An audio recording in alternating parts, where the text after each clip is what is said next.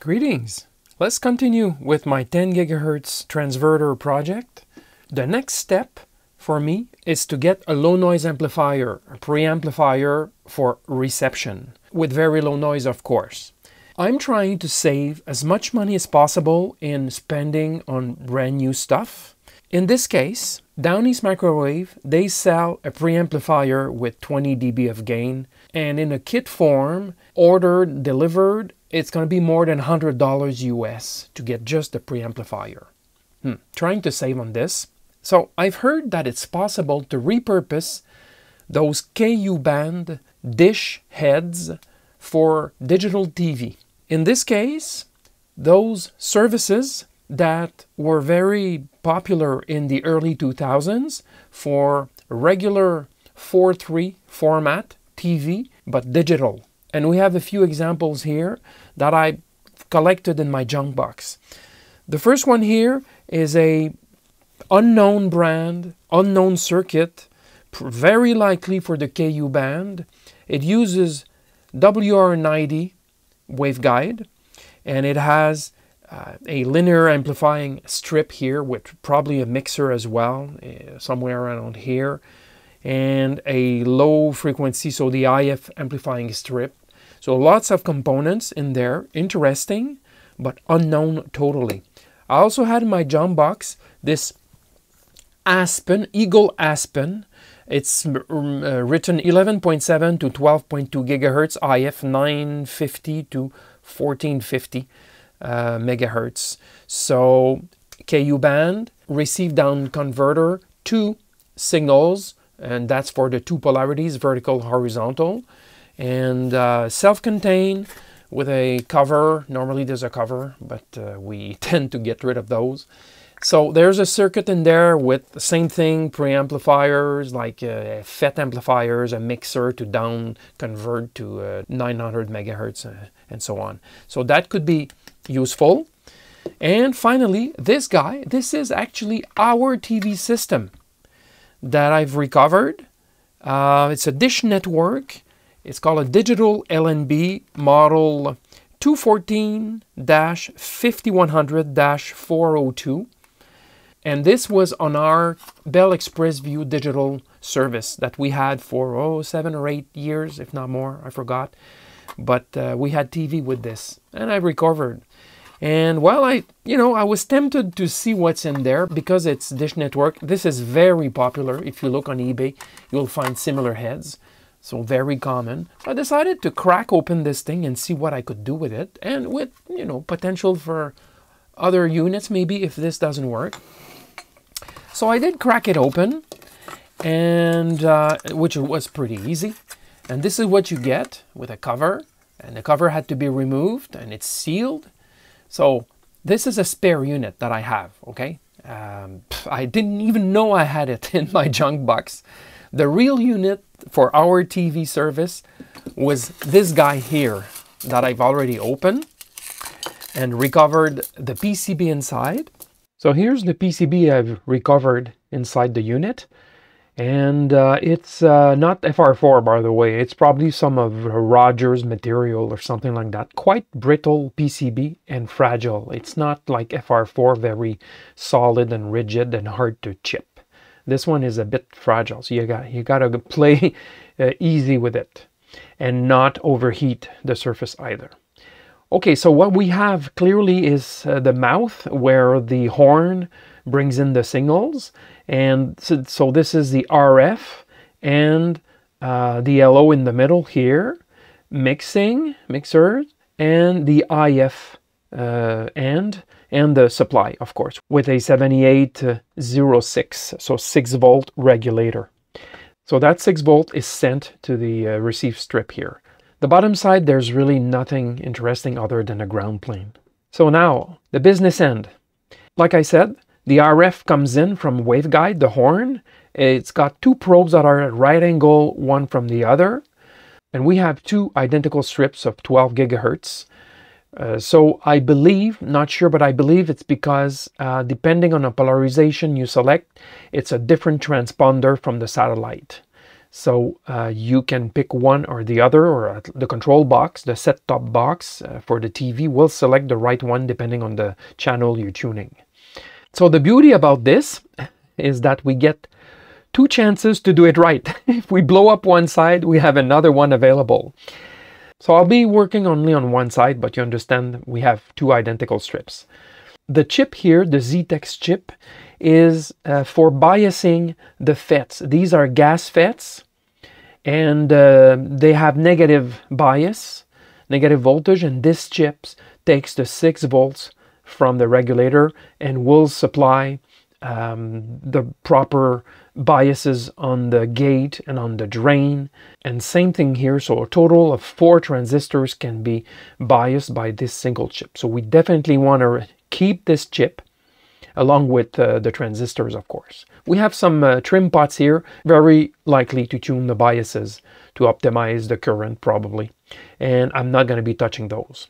Okay so if we look at one strip in particular we start from a probe this is 50 ohm impedance tracks. You see the width here? So if you hit a big square like this of copper, it's very likely extra capacitance for tuning the input. This couples with the ground plane underneath and it creates a capacitor. Uh, the supplies are fed by these very thin traces. They represent a high reactance due to their inductance, so it sort of blocks the RF signal and these squares as well will uh, null out any RF that's left over from here. And then from this point on with the decoupling cap here uh, bias resistor it's really DC okay? And it's the same for input and output. Uh, it's the same same principle. Okay so we have two transistors two FETs one is marked K and the other one is marked L. Same thing here K and L so I did a bit of research trying to figure out what these transistors were. Are they broadband? Will they work at 10 gigahertz? What kind of gain? What kind of noise figure? Especially the K1, which is the first transistor to pick up the signal. And with just a marking K and L and a bit of searching uh, on Google, I found what they are. They are NEC, NEC, NE3210SO1, that's the K, and the L is the NE4210 SO1. So if you look at the performance of these transistors at 12 gigahertz, mind you, we have 13.5 dB of gain and a noise figure of 0.35. Wow! hey, we're in business. That's a very low noise transistor for the front end. Followed by another stage, the second stage, the L transistor, 0.5 dB of noise figure, not important as much because we get a lot of gain on the first stage, and uh, another 13 dB of gain. So that's at 12 gig though. So we can expect, realistically, more than 20 dB of gain and a noise figure of probably better than 0.5 dB. Of course, when we say this, we don't take into account any losses in the coax or transition or anything ahead of that preamp. But at least the transistor is very good transistor. Very happy with that. And the spec sheet is readily available. They have other transistors that they describe in this uh, data sheet. But hey, it's really, really good. And when you look at drawings of how things work, well, here's a typical example of how they're used. And that's pretty much what we have. Uh, not quite, but it's, it's the right configuration. Two strips of RF, the 3210SO1 followed by the 4210SO1, followed by a mixer, uh, an LO, local oscillator, going to the two strips, two identical strips, so the LO is split, and then some IF work with crossover switching and some IF amplifiers. So this front end is hot. I want this. but how to interface to it? Let's look at the input. The input should be relatively easy to couple to. First, filing off this probe here and make a nice circle. Second, either come in with a coaxial cable horizontally like this and solder right here with ground plane underneath soldered to the shield and maybe even couple the shield to the top here on the two sides. This is not the best way to do it, but at least for a first try, it will make this system work. And I'll be able to try it, you know, at 10 gig. This is 12 gig, 12.5 gig strip with some definite tuning of the output with some stubs as well, 50 ohm trace, a hairpin bandpass filter centered around 12.4 gigahertz, and then the output going to the mixer, the LO being here with a bandpass filter, of course.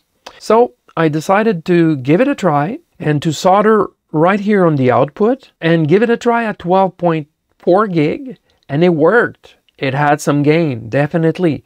It had more than 20 dB of gain at 12.4 gigahertz, even coupling loosely with a coax here. So it was really promising.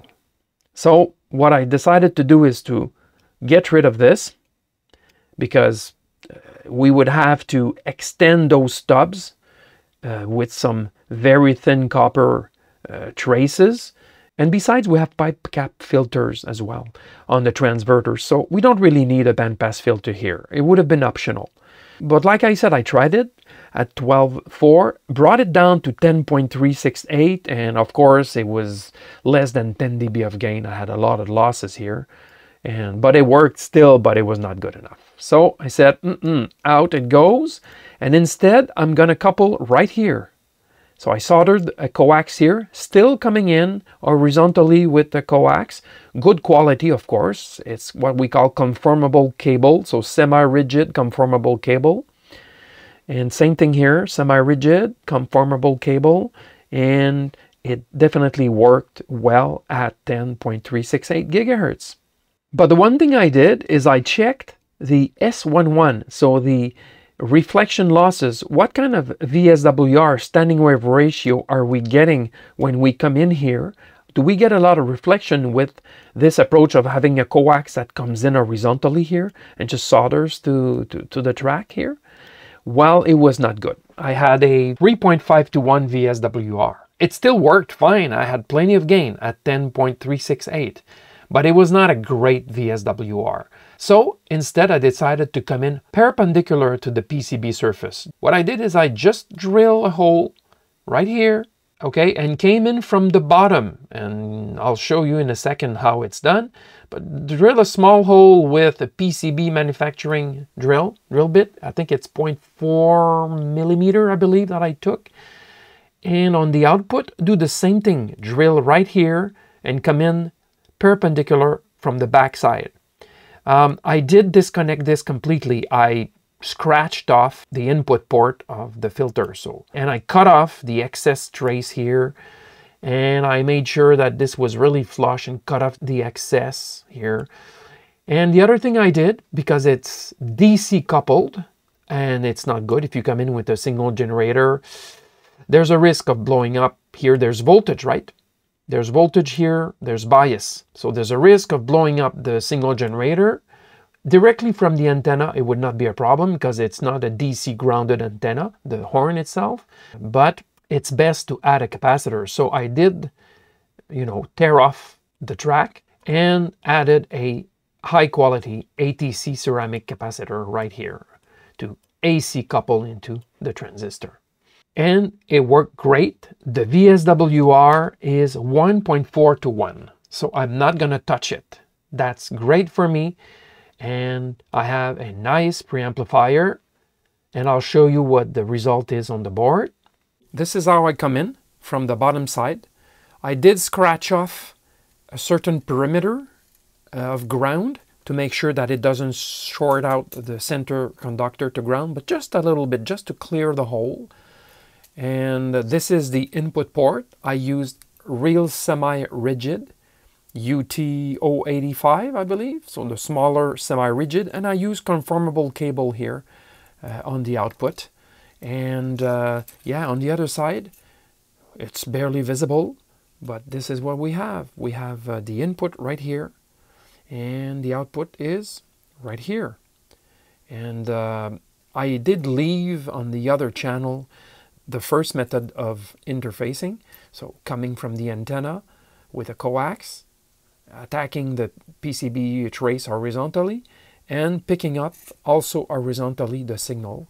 and of course trying to keep things as short as possible and putting some ground strapping on both sides to pick up the shield and bring it to the ground plane. But this was not great. At 10 gig, like I mentioned, bad VSWR. The perpendicular approach of attacking with a very small hole in the center of the track is the best way to go. And same thing for the output. And I'll just be removing these. This was a first, first trial. And um, yeah, I did add the coupling capacitor right at the input here. Difficult to see, but it's there. And the performance is there. It works. It works very well. I get 22 dB of gain. Noise figure, difficult to measure at those frequencies, but the best way to demonstrate that this thing works well is to make you hear the results. Okay, I've hooked up the LNA, the low noise amplifier or preamplifier if you wish. So I have my signal generator that comes in with the blue cable here in black. I'm injecting through 40 dB of attenuation to make sure I can reach really, really low signals coming from the signal generator, my test generator. And so I come in into the LNA, low noise amplifier or preamplifier if you wish. I come out of the preamplifier into the receive port of my transverter. Of course, on the other side, it's the same as before, my 10 megahertz uh, ovenized uh, oscillator into the uh, ADF 4351 synthesizer chip, into the tripler, and then 10.224 gigahertz into the LO port of the transverter. And I'll be listening on the IF out, 144 megahertz sent into this receiver. All right, we're ready for the test. So, test is started. You can hear the noise. I will increase the signal. You can see. We can hear it clearly. Currently we are at minus 124 dBm. That's pretty low, but it's not low enough. This is considered a medium strength signal, right? So let me reduce another 10 dB minus 134 dBm. We can clearly hear it still. Minus 144 dBm.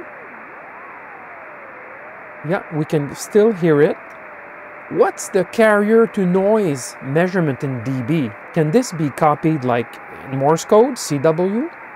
Well, let's look at the, the measurement. If we measure the carrier to noise level for minus 144 dBm, which is, by the way, 14 nanovolt of signal. That's really small. Well, we still have more than 10 dB of carrier to noise. It's the green colors, red being hold, the signal hold, green being the actual signal.